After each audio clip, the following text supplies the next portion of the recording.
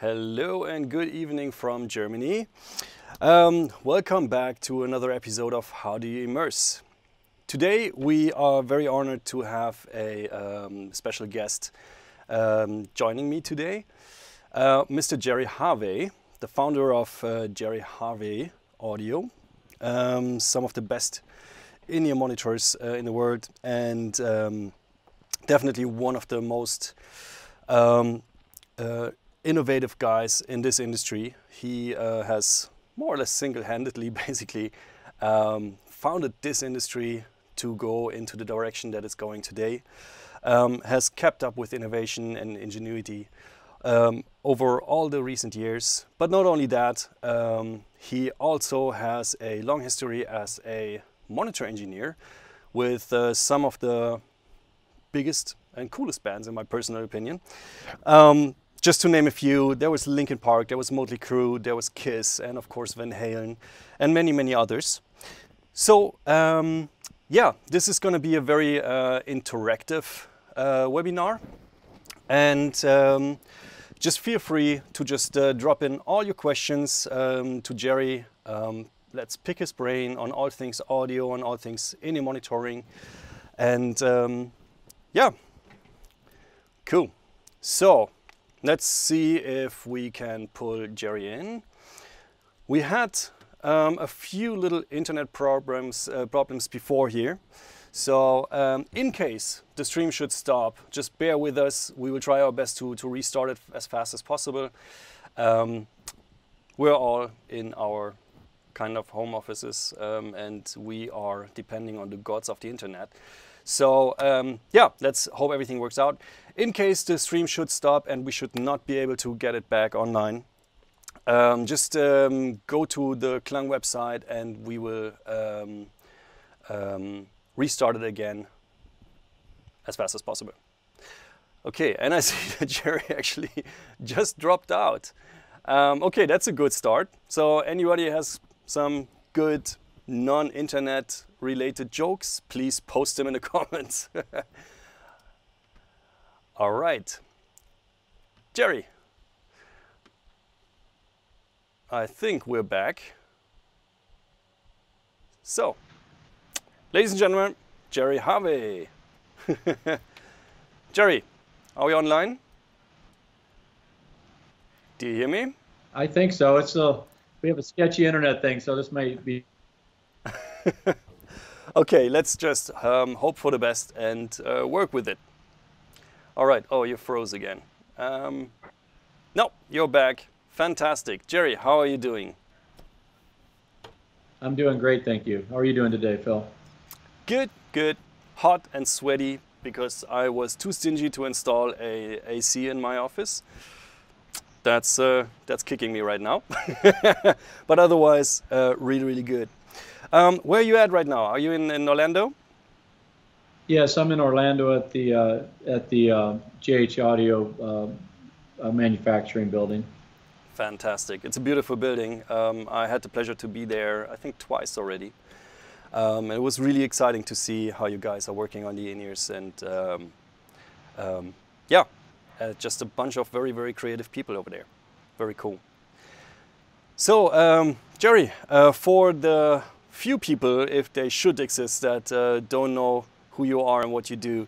Um, can you tell us a little bit about um, how you started in the industry? Let's let's start at the at the early stages when you um, became a monitor engineer. Um, who who was the first the first band to enjoy having you on stage left? I don't know how much they enjoyed it, but I was I was a front. I always wanted to be a front of house guy, and then I started working for Tasco Sound.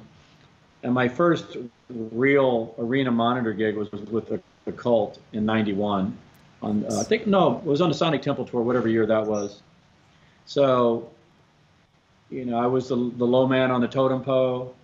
They had fired seven or eight monitor engineers, and I, was fresh meat. And uh, and Marty Halm, who's a you know very famous tour manager, said, uh, "Hey Jerry, uh, Billy wants you to be uh, be the monitor engineer. I'm, he, he likes the way you're mixing the opening act stuff." And I'm like, "Well, I really like my job, and I don't really want to be a monitor guy if I'm going to get fired. So he goes and talks to Billy, and he comes back. He said, "Billy says if you if you suck at this, you can have your old job back." So I've been a monitor engineer ever since. So there you have it. Okay, very good. So you definitely did not suck. Nice. well, that's I guess that's the whose opinion you ask. I think I did a pretty good job. nice, nice. Um, what was it that got you into the industry, into mixing? Was it something that fascinated you from from an early age, or did it happen, you know, how it happens with a lot of us, you know, by accident, by being in the right place at the right time?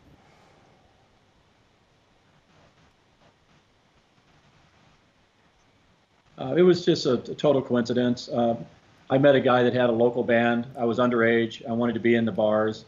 I was, you know, so I helped him load in his equipment. I was the light guy, and then the sound guy quit. Then I ended up being the sound guy because, you know, that's how it happened in the in the club days. And uh, I met a couple of night of good guys around town. Um, a guy named Fast Ed Bigger and a guy named Jim Egan that actually showed me the basics and got me to where I could actually put something through the PA that was, you know, palatable to listen to with the, the simple, the basics they showed me, which really helped a lot. Nice. Okay. Um, yeah, and then um, you, as you just mentioned, um, the Cult was one of the, the first big bands that you that you were working with. Um, do you have any any favorites that you that you had worked with? You know, amongst all those bands, what was the most exciting gig that you had? I think the the most exciting gig and the, the longest running gigs was I started working. I was a bass tech for David Lee Roth in uh, starting in '87, and then I went into Van Halen. So the Van Halen, you know, has been one way or another ran through my whole career. So those are the guys that I I had a lot of fun with the Cult. I had a lot of fun with the other bands, but Dave Roth and Van Halen, you know, that was they were like family, and uh, you know, did a lot of a lot of touring with them and had a lot of fun times. You know, Dave and I, you know, we were to get, you know, we uh, we had a lot of fun together, and then, you know, the Van Halen brothers and Mikey, especially, you know, Anthony and Wolfgang, all those guys were just a great bunch of people to be around. Mm-hmm. Nice, nice, okay. And Van Halen actually was uh, was the, the act that kind of started the whole in-ear monitoring thing for you, right? Yeah, I I was hired to do uh, Alex to do the monitors for Van Halen, and that's when in-ear monitors just you know came to fruition and just started. And uh, I had been working for uh, an old guy, Engelbert Humperdinck, right, and a singer. He's a great guy, and we used a set of earpieces. I think I mixed on him on ears for like two months, but in that day, that made me an expert because no one else had ever, you know, there's probably three of us had done in ears, right, at the time. So I was hired as Van Halen's monitor guy because all of a sudden I was this in-ear guy, right? Um, so we started the rehearsals and we, you know, we got the the gear of the day, which were Garwood radio stations, and we got there was two companies at that time that were doing in-ears, and uh, we got both sets of in-ears for for Alex, and um, you know he's very you know, we're good friends now, but you know, I was a little bit uh, intimidated by him because he was pretty cut and dry with his, you know, what he th- thought of things, and so he puts the first set of earpieces in, uh, runs about one verse of the song, stops the song, and takes them and tosses them away, and say these these things are horrible. I can't listen to these. And I run up and I've got another set. I go, well, try these, and you know, he puts them in and uh, runs about, an, you know, a little bit of a song and said these things you know sound worse than the other ones. He goes what do you you know do you not know how to mix? Because i just you know i was like you know i'm like you know i was always taught as a as a, an employee of a sound company never blame the gear right? So uh, i was like well this is kind of as good as it gets. And he was he goes oh, listen he goes i want to keep doing this and these aren't working for me and if you're going to be the guy, you need to find something that works better for me. And that's he left it with me. So then I really liked working for Van Halen, you know, and I didn't want to lose that gig. So I started researching um, you know, miniature speakers and and things, and took about, I guess, the first set of earpieces were mediocre. I built for him, and I actually made little caps that had screws on the caps, so we were blowing stuff up so much and sweating things out that I could actually like do a hot swap of the components, you know, in during the show. And I had like three backup sets, and I don't, I re, I learned firsthand how to fix sweat issues, you know, what the audio uh, problems were, how the seal was, you know, affected everything. So, you know, most of this time was with me climbing up behind the drum riser during a show, getting swatted at with a drumstick, trying to change earpieces out, right? So it was, it was very, uh, it was a, it was, you know, jump into the deep end and you know swim and figure out how how to make this thing work. And then about six months into it, um, I found you know I you know I decided I, I needed more than one component to make these things have be able to perform. And I found uh, uh, I had the high driver, which was doing okay, but it had no bottom end in it. So I made a simple two-way earpiece, and there's a gentleman, Rick Zanardo, that worked for Knowles, called me. He goes, "Hey, I got this this this balanced armature that's been in the balanced armature graveyard for years. It's really big and it has it's made to be uh, put in people's uh, uh, um, in their chest for the pacemaker to give them a warning when they're to when the thing's going to work, right? So it'd do 140 decibel tone through your chest cavity. So when I measured it, it turned into you know perfect low, low, mid, and and uh, driver. Then I high passed the the other driver I had in the UE5, you know, the Ultimate Ears 5 was born, and I took him up, you know, very sheepishly to Alex. I got something new for you to try, and he's and he puts them in, and he kind of gives me a smile and goes, "These are a lot better." And then I sold five sets to the opening act, you know, which was Skid Row. And I took that cash in hand. I was like, "Wow, that's twice what I make mixing." I think I'm on something here. So driving along in the back of a Van Halen tour bus, we came up with the name Ultimate Ears and started my first in-ear company, Ultimate Ears, right? Fantastic, fantastic. That's that's such a cool road in there. but uh, speaking of the, the problems with it, we actually have uh, Webby uh, listening to us. Hi, Webby. Webby says everyone blames the digital console. well, yeah, did you did you mix on a that, that was still on in, on an analog console back then? I, I, I assume, right? Oh yeah, I was mixing. Uh, I think I was on one of Webby's uh, Heritage 3Ks. One of them. I was a Midas fan. I always mixed on Midas. Mm-hmm.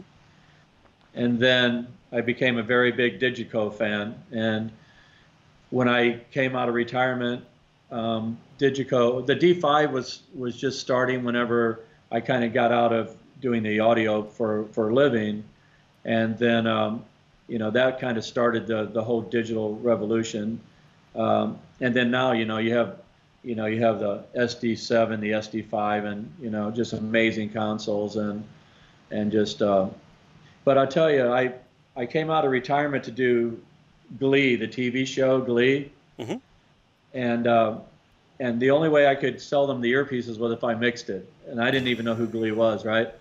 so I had a uh, they had a SD7 Digico, and I'm like, I don't even I can still mix. I said, but I don't even know how to turn this damn thing on. So you have to send me a kid, right? So they sent me out, you know, a very competent monitor engineer, Dan Horton, but he was my guy on Glee the whole time. So he mixed the band and he like set my SD7 up so it was like I, I could run it like an analog desk, and then it kind of uh, made made my way through it. But I've every time since, and I've mixed any of the Van Halen tours or anything that I've done um, since, and I've always used a Digico. It's you know, it's as close to a digital uh, analog desk as I've ever seen. Nice, nice. Um, when we when we spoke before, you you mentioned that. Um, the one of the last big tours that you did was uh, five years ago with with Van Halen. You so you still have a strong connection to those guys, I guess.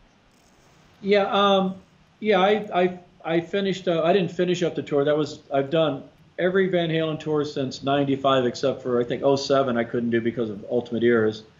Um, but about halfway through the tour, I trained. Uh, I trained Miles Hale, and he came in and, and took over for me.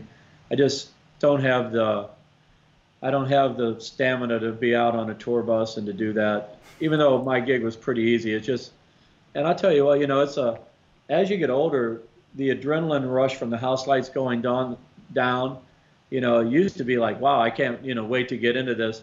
And at the end, it was like every time the house lights would go down, I was like a little bit of anxiety, like I hope everything just gets, I hope I make it to the end with no tragic failures, right? You know. Uh, yeah, that's. I guess that's that's a part of the charm of the of the job on stage light, right? Uh, stage left, I mean, or wherever. The that's the drug. Yeah, the house lights go. nice, nice.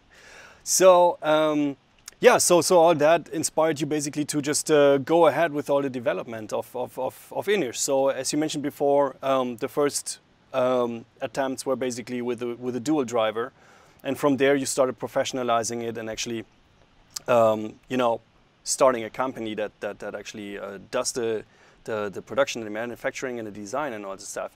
Um, which which do you have any um, any big points in the in the history of of how you uh, developed in-ears that were big game changers for you in terms of um, new technologies or in terms of new ways to fit them together or something like that? There's been a, you know, kind of, it's kind of like a domino effect you know you continue to develop product and you make small small changes and over the years they add in, up into big changes.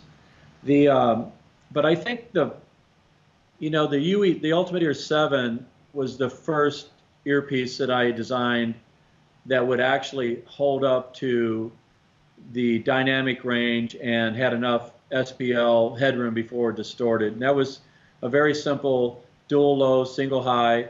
And that that that piece was kind of like set the set the bar for what it, how an earpiece had to perform, right? Because as soon as I launched the seven, all the distortion problems, everybody seemed to be happy, and there's still people to this day that still love that that that earpiece because it it's still the you know got the most headroom and the loudest freaking earpiece on the planet, you know. So uh, it wasn't meant to be loud, but it was meant to have headroom and dynamic range. But mm.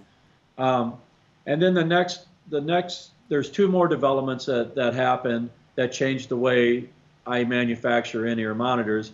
And the one was the last piece that I made, uh, the UE11. I figured out how to make a sub bass um, with, you know, because you can't really do a low pass in an ear, in-ear monitor because the inductor has such a high impedance that it turns the driver down. So if you wanted to do a 200 hertz, you know, low pass roll off, if, if the inductor has so much impedance that it turns the driver down where it's not usable. So I figured out a way to do band passes and with a, a couple different techniques, and that made the first three-way earpiece, right? Mm-hmm. And that's what made the 11 kind of stand out from the, the 5 and the 7, and you know how most people these days tune the bass flat. It allowed me to do like that sub bass punch and allow it to, to, to roll into the low mids by creating that that you know that sub basically sub bass driver and adding it to a kind of a flat earpiece already. So that was that would be one of the things that I still carry into every product I develop now. We still do that that band pass and different slopes, but we still you know from the Layla to the Roxanne. Um, 13 every earpiece I manufacture now has that has had that tech has that technique involved. Um, the other thing was that I everyone started complaining about, not complaining, questioning how much bass response an earpiece had. They never asked, what did the mid sound like? How, what's the top end extension? It was always how much bass response is tuned into this earpiece. So that's when I started using uh, four pins and I broke off the low drivers and put an attenuator in the cable so you could set the, the bass at whatever level you like. So that stopped that question.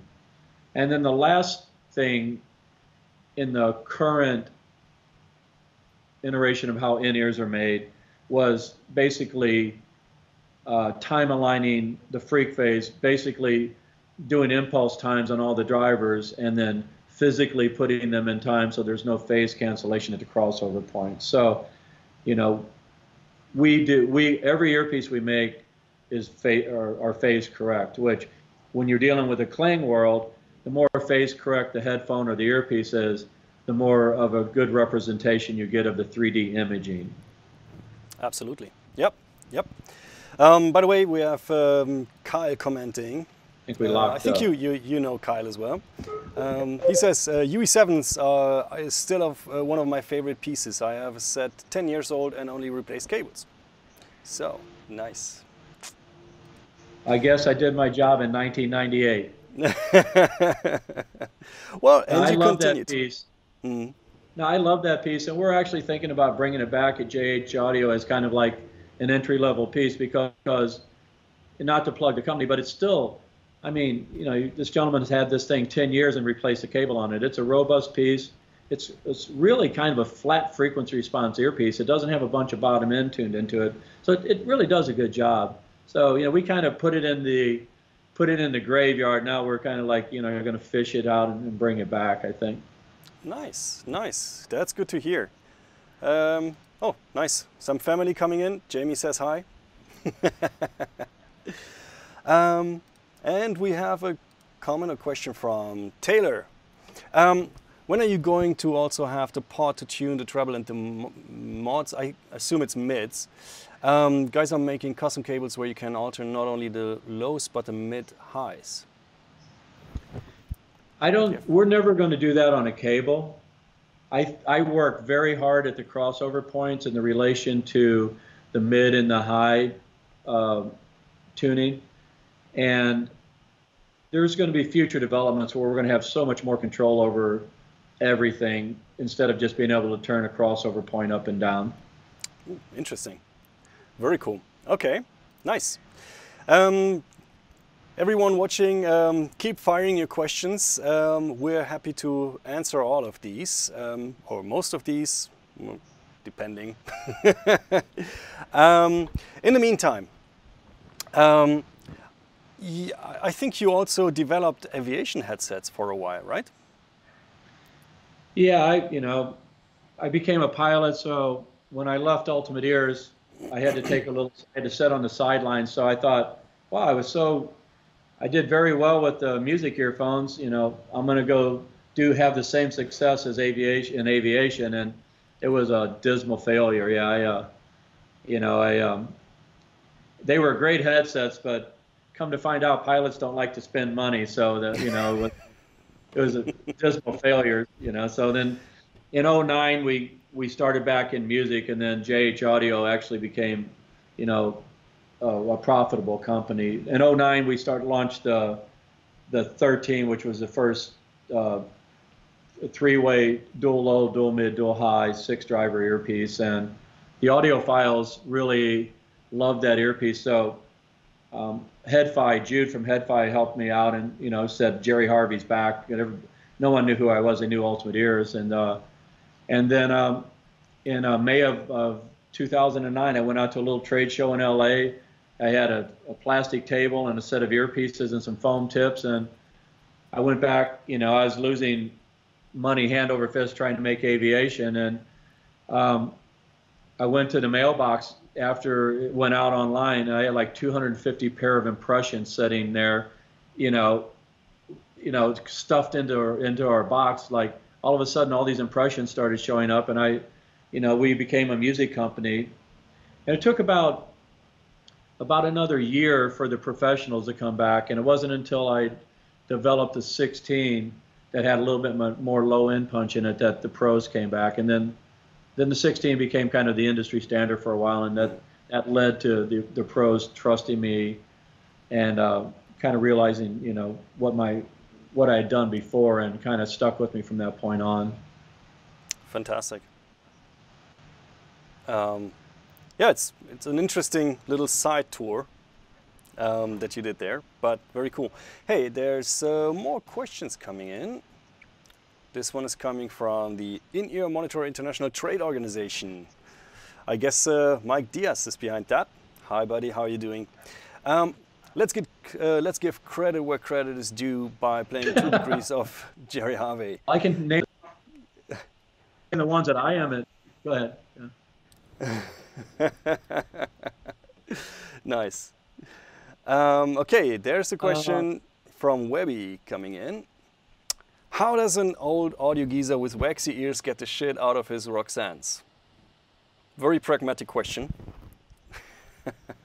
it's called it's called a Jodi-Vac. Webby, hit me up and we'll send you one so you can get the head cheese out of those things. Solutions. I love it. Very nice. so to answer the other question, the other companies that were involved with me were Westone and um, Ultimate Ears and JH Audio. Those are the three companies that that I've been involved with. Yep. And uh, yeah, I guess everyone who is in our industry knows all of those very well. So that is quite exciting, and that's um, one of the reasons why I was very excited to have you in our in our webinar today, um, because I don't think there's a lot of people who have that much insight into the development of in-ears. And we'll get back to to you know the history, present, and future of in-ears in a little bit. But first, let's see. Uh, there's a couple of other questions.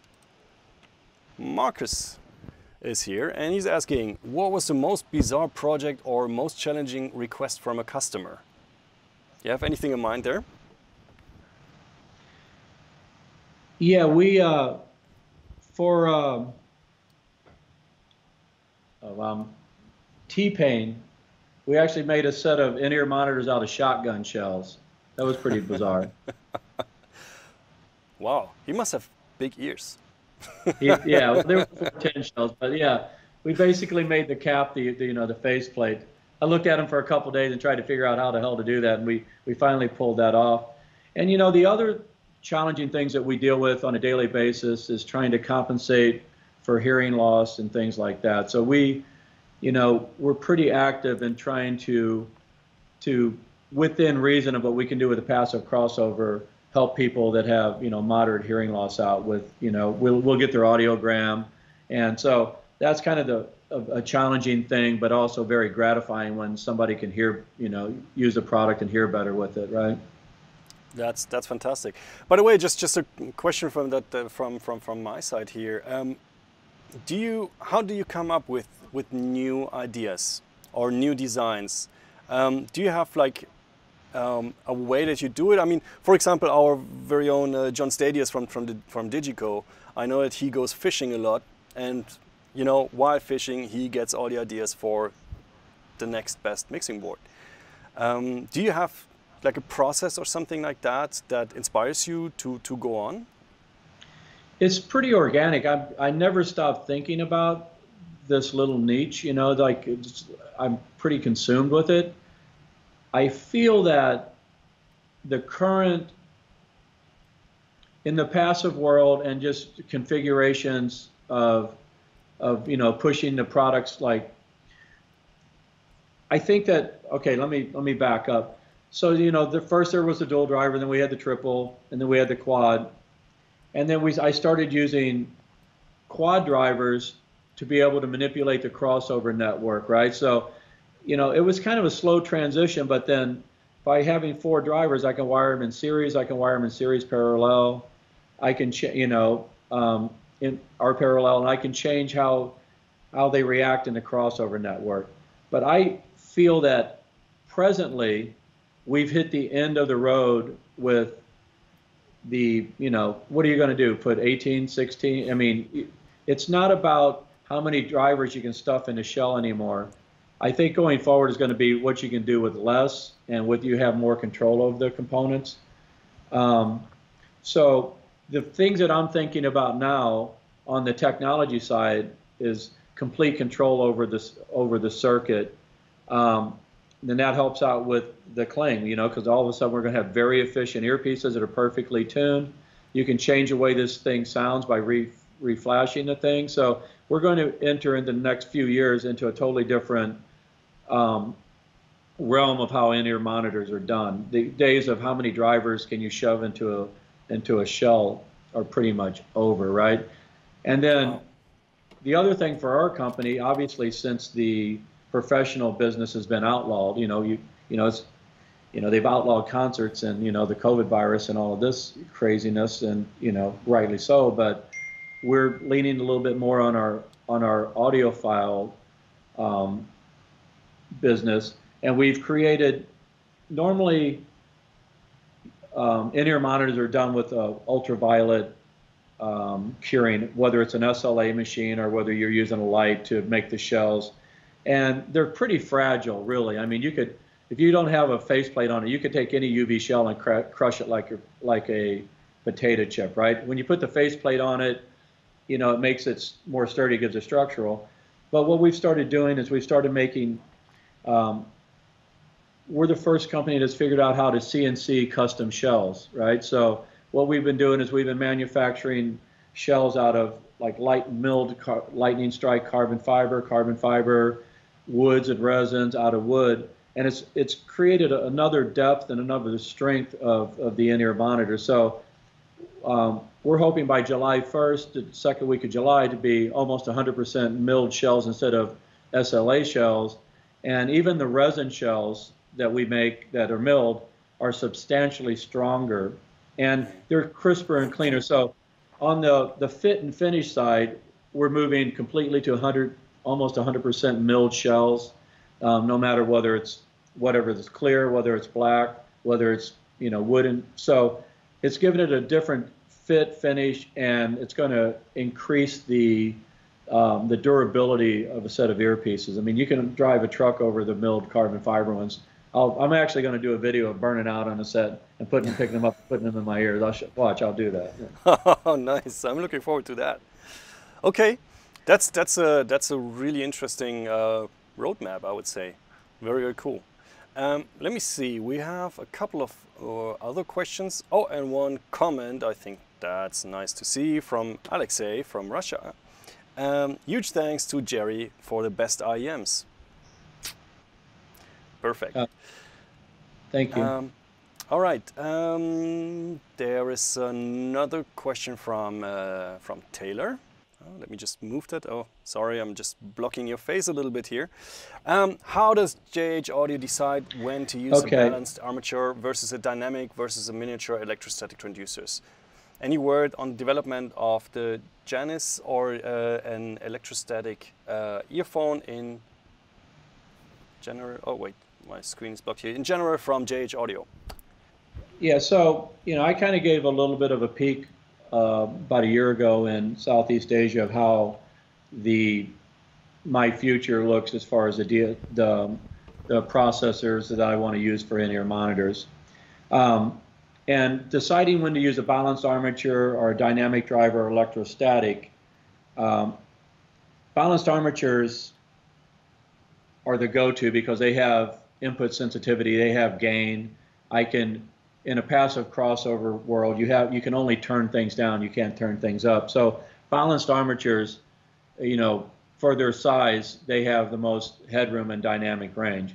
That being said, dynamic drivers have lower input sensitivity, so you actually have to use them as the starting point. So in a live environment, dynamic drivers don't really do a great job for live performance on the lows because they're, the low driver is setting the input sensitivity and the and the the gain of that earpiece. And you you know with a when you're talking about a console, you're talking about a transmitter, and you're talking about an earpiece, they all have to be kind of in unity gain because you don't want to be driving the transmitter and driving the desk because you have a quiet earpiece, right? They all have to be kind of unity gain.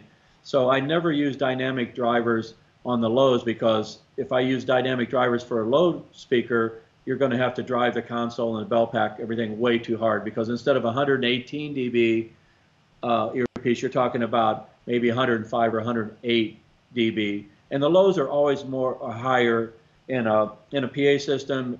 Any anything that has a musical tone to it, the low low end is going to be at least 6 dB to 8 dB hotter. So if you're starting at you know 105 dB, your mids are down at 99.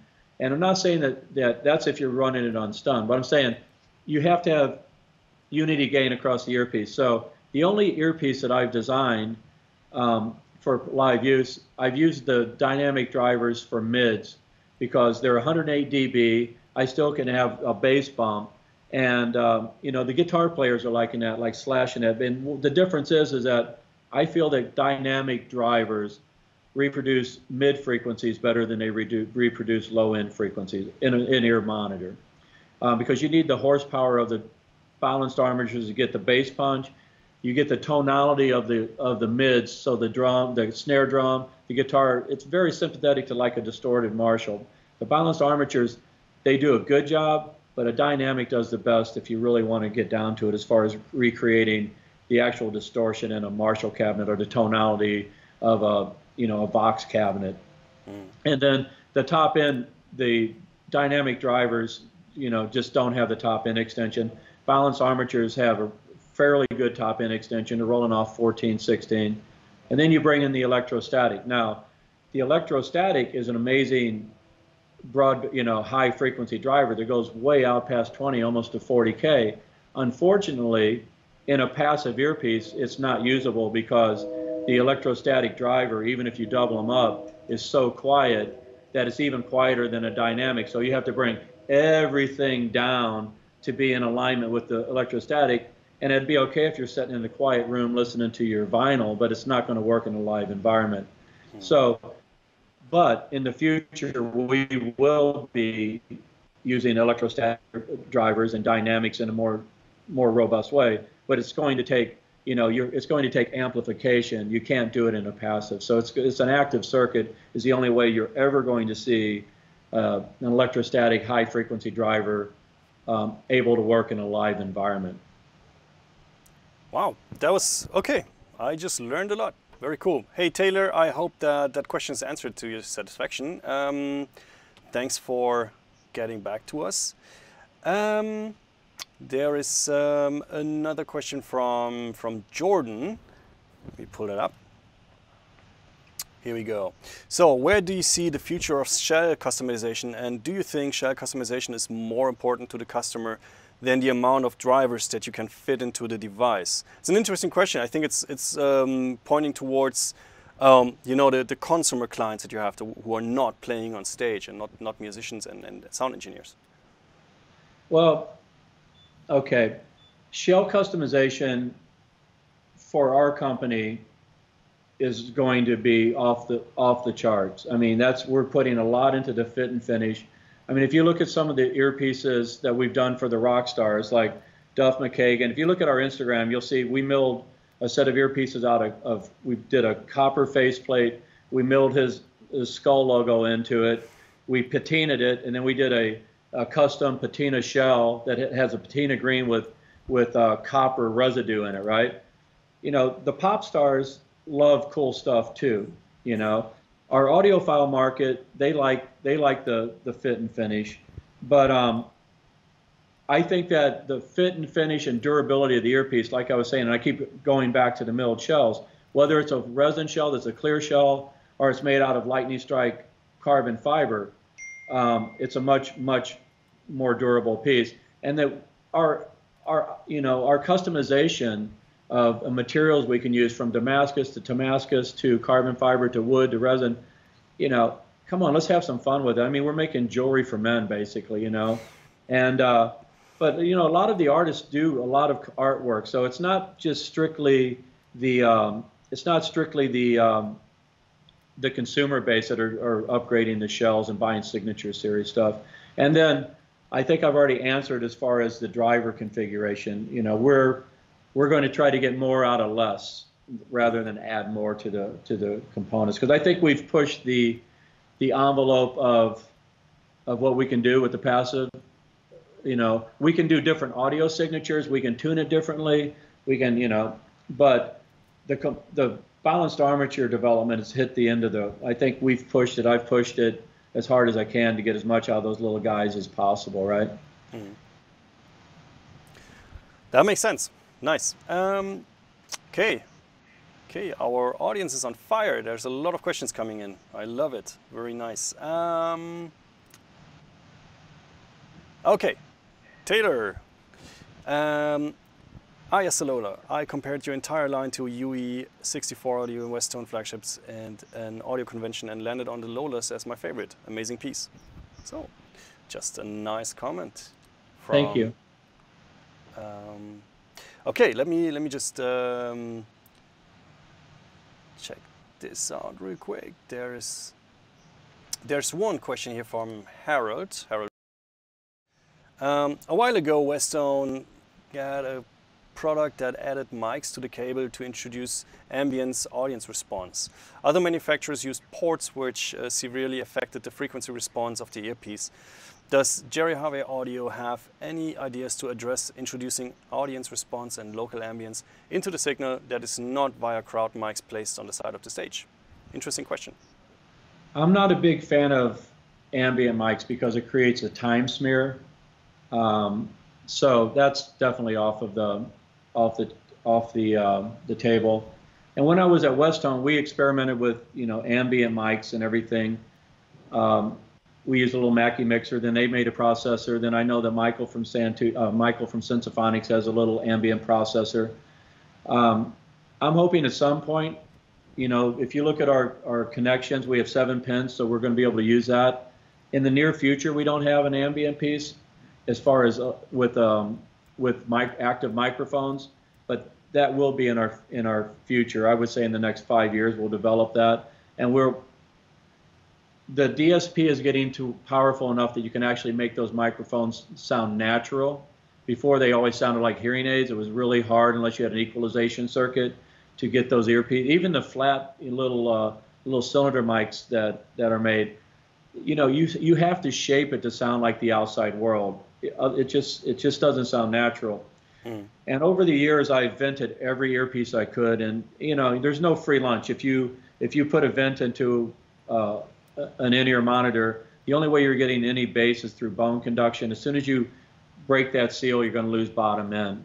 So I've tuned, I've, I've actually started using bigger vents and to try to add bass to the to the earpiece. I think we call it the ambient FR, just to make the light at least the bottom end flat, you know, so it's usable. Um, I understand why people want ambient. I mean, as a monitor engineer, if I'm going into a festival, it's going to, you know, probably not, people aren't going to like me saying this. I'd rather do a throw and go on wedges and side fills than do 10 in-ear mixes out of the gate anytime, you know, because it's, it's easier. You're just add filling in what people are missing on the deck, right? Mm-hmm. With in-ears, it's pretty, you have to be pretty precise with your mix. Now, I've also experimented with earpieces that have absolutely no seal at all and basically they're only they're basically like mids and high frequencies for your head. But what you do there, you actually you actually use the wedges for the low mids, right? And I've done it. Um, Bette Midler, Richie Sambora, and a bunch of other people, Julio Iglesias. I've made these like skeleton pieces, and basically they just add kind of the Christmas at the ear. You put, you know, five to ten milliseconds of free delay to kind of put them in time with the wedges, and you know, the, the problem with that is, is if you lean on the belt pack, then all of a sudden you have this tinny sound in your head. So, you know, and every artist, as soon as the house lights go down, start turning things up. So you have to turn the whole mix up together. You just can't like, you know, bump the bump the earpiece up. So that works for a very educated monitor engineer that you know can communicate with their artist, but it's not something I would put out there for the general population to use, right? Makes sense. Makes sense. All right. Um, there's another question from Kevin. Uh, he's saying, where do you see um, stage monitoring in 10 years from now? What will change? Less wedges, more IEM, all immersive with tracking, which I like. Um, wireless IEMs. Um, do you have any, any like, like crazy ideas? You know, not not just stuff that is already in your head and that is basically a natural progression, well, but you know, like really a future side for that. I I think that we're going to continue to see less wedges, even though I'm still a big wedge fan. Um, um, I think if you look at the trend from '93-ish, whenever in-ears came in, to now, the early adopters were singers and then drummers. You know, a lot of people in the old days when I started didn't want to put things in their ears. Um, now, like the third generation of musicians, it's you know instead of going and looking for wedges, they just go buy in ears. So it's become I think that in-ears aren't going anywhere. They're, you know, um, I think that the in-ears will be doing a lot more. I mean, you know, already we're putting sensors in for tracking lighting. You know, we do infrared. You know, it's why I have seven conductors. You know, and we're working with you. You know, to do the, your sensors for this to spin around on the stage. Um, so I see that in-ear monitors. It's going to be a long time before an in-ear monitor is truly wireless like Bluetooth because it takes a lot of horsepower to drive an in-ear monitor in a, in a live environment. Um, until they find something like Bluetooth that doesn't have 30 or 20 or 30 milliseconds of latency. I mean, we can we can shoot Bluetooth to a Bluetooth earphone all day, but you'll never be able to sing in time because the latency is so long. So until the, some wireless link brings the latency down, I think we're pretty much you know conf confined to to a transmitter receiver and a hardwire to the head. Mm. Cool. Um, let's let's talk a little bit about um, Klang. I mean, the, the, the, the, focus of, of today's conversation is mostly just to pick your brain, but um, we know each other since um, a while, I would say, um, in Klang's perspective as a very young company. Yeah. Um, before before we, we got in touch, uh, did you have any any connection points or any any um, any things to do with with immersive audio? Do you remember what was the first things in terms of immersive audio that happened that spiked your interest? Um, I think that Klang was actually the first unit that I played with that actually did the job. I can't remember the name. There was one, you know, probably a decade ago that didn't do a very good job, and before that, it was called the. There was a stereo and, imager called the Bedini Audio Spatial Environment, the base unit, and I used that to really screw up my. Uh, I did that on Engelbert, and I really screwed up my gain structure. You know, it was like, but uh, but the thing about Klang, what I like is you know, you guys nailed the imaging in in the earpieces in your head or headphones, whatever you're using. And I really like, you know, we've been working in a stereo world for so long, and to be able to, to take that image and even move it a little bit out or a little bit back or a little bit forward gives you so much more space in the mix. Mm-hmm. And uh, you know, I'm a huge fan of it. You know, if I was still an active monitor engineer, I would definitely be using that. You know, to open up my mixes. Um, and I think now that, you know, you're going to, the new engineers, the new kids that are coming up that are going to be into this, I mean, you have, you know, you're also starting to get this with the L acoustics. You're doing it with, they're doing it with PA systems. So you're doing it for the ears. So, you know, everybody is thinking about now imaging things out of left and right. So, and for me, it you know, listening to it and playing with it, I feel that there's going to be less ear fatigue. You're going to have a lot more depth in the mix. I think you'll be able to turn the overall gain of the mix down because you're hearing clearly, you're hearing through the mix. Absolutely. And now that, you know, it's integrated, it can be integrated into the Digico consoles. I think the new the new engineers, you know, the up and coming kids that are going to adopt this, both the L Acoustics uh, PA version and the the Klang version, um, you're going to see huge traction. And I think this is going to be the way of the future that people are actually going to mix in ears. And I think that will also answer some of the ambient issues of not feeling so cooped up, right? You know, to go back, you know, now you have earpieces that have frequency response out to 16K. You have the Klang system that can give you space. You know, every time you open a microphone on stage, you hear ambient noise. So it's not like you're feeling you're like sealed off. The old days, you were sealed off because there was no high frequencies over 5K in the earpiece, so it sounded like this. Mm-hmm. Why all the manufacturers put high frequency boost in. But you take a high performance physic, uh, phase correct earpiece or headphone, you take the Klang, you take the digital processing of the the uh, the Digico consoles, and you know, I think that that's going to be a very very pleasing experience, you know, for the for the for the pop star, the end user. Absolutely. I mean, that's that's pretty much the feedback that we're getting from from people who are using exactly that combination. Um, and um, yeah, I mean, what what you mentioned about you know um, um uh, phase corrected in ears and and and uh, having a, a, high frequency range, that is where um, an IEM system like like the Klang system can shine. You know, so the more um, the more quality you get in terms of transient response and high frequency response and general um, being able to hear everything that you're sending into it, which is not happening everywhere. Um, that's where the placement and all that stuff is happening exactly how you want to have it. Um, and um, actually, what, what you mentioned with the with the ambience mics, that's something we're getting a lot. Um, that this is now um, uh, the first time that, that you can leave the ambience in the mix all the time. You don't have to ride the fader, you know, to clean up the mix, because you don't get those mudding up and those um, um, yeah those, those those weird cross effects between microphones that are in different uh, distances from from a source. So yeah, yeah that's why it's a match made in heaven, I would say. Now I now I have a question for you. Oh, so have you noticed that that you know because the reason that I stopped using ambient mics was because of the time smear being so late, you know, and everything's the mics are in, like you said in different time ranges.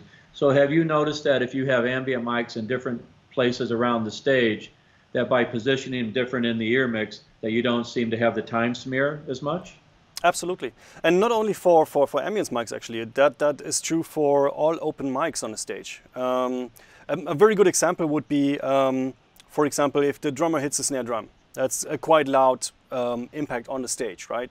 And you have the snare mic, you have the tom mics, you have the overheads. Then you have, you know, the, the mic on the guitar cabinet, all the oh, singers' mics. Yeah. So you're getting that snare into, let's say, 15 to 20 mics with different uh, distances. So the same impact, the same transient hits in, in 20 different times, which just creates a comb filter if you are using it in stereo. And that is what we feel as muddiness.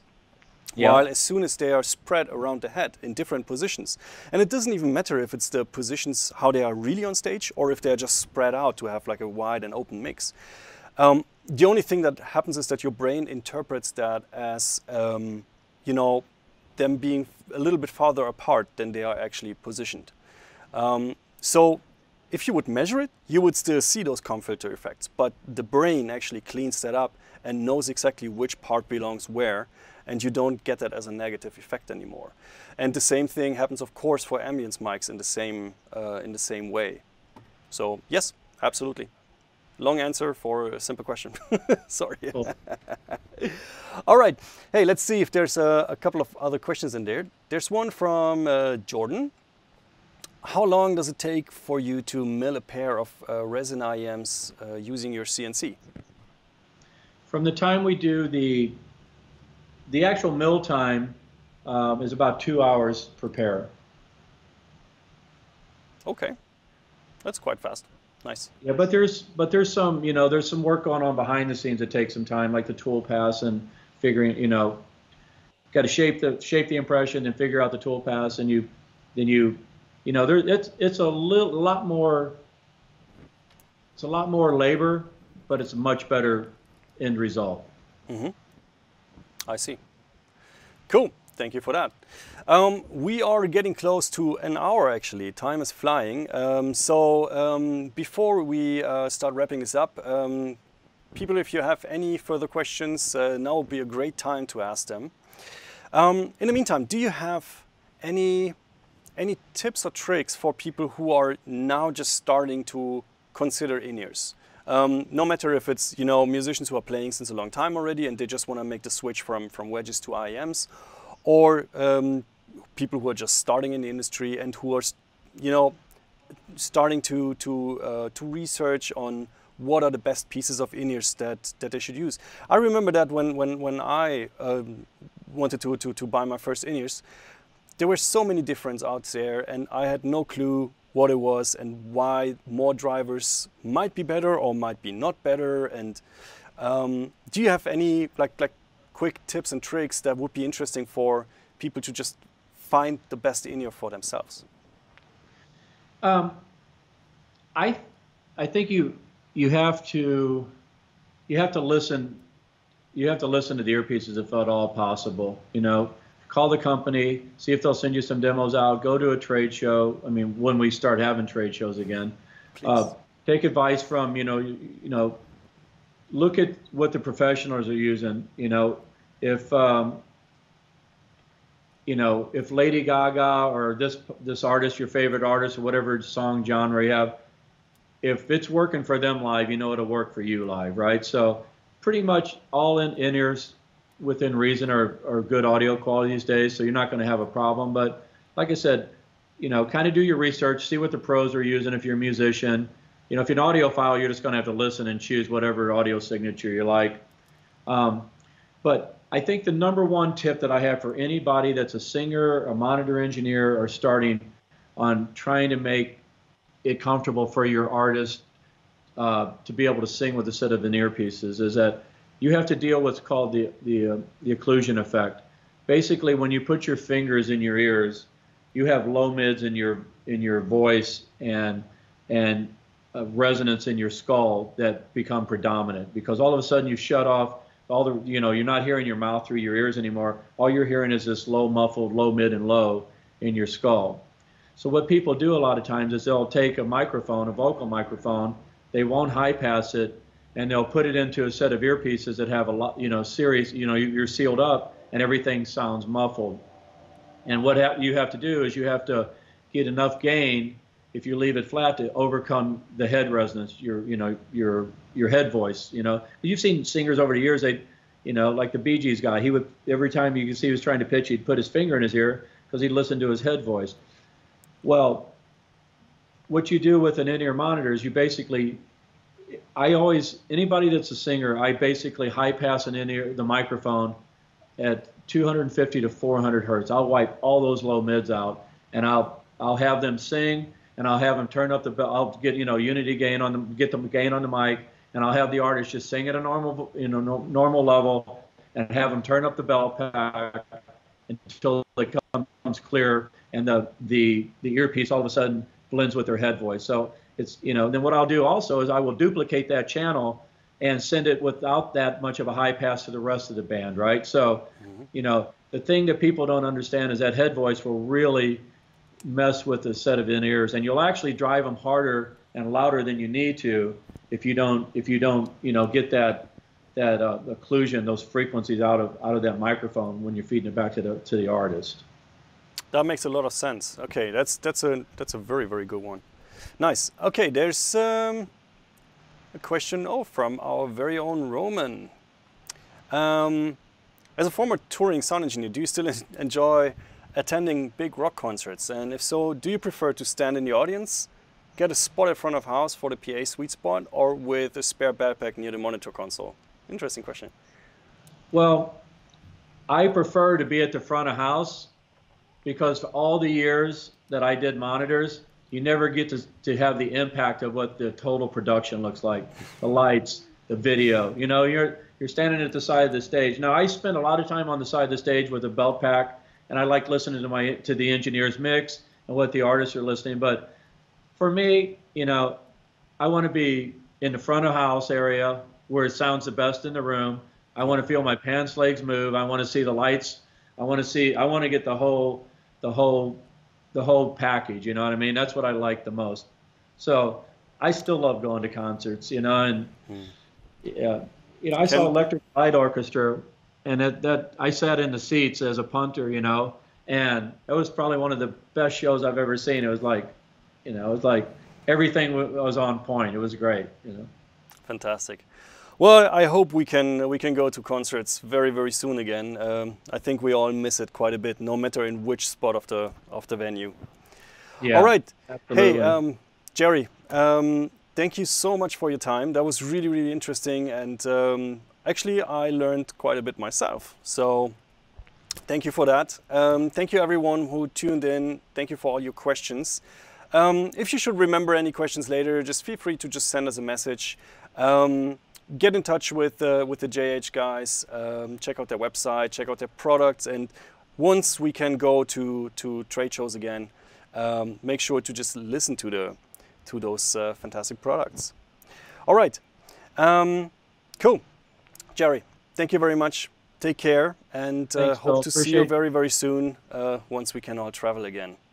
I hope so too. Thanks for having me. I greatly appreciate it. Everybody have a great day or night. Thank you. See you. Bye. Cheers. Bye.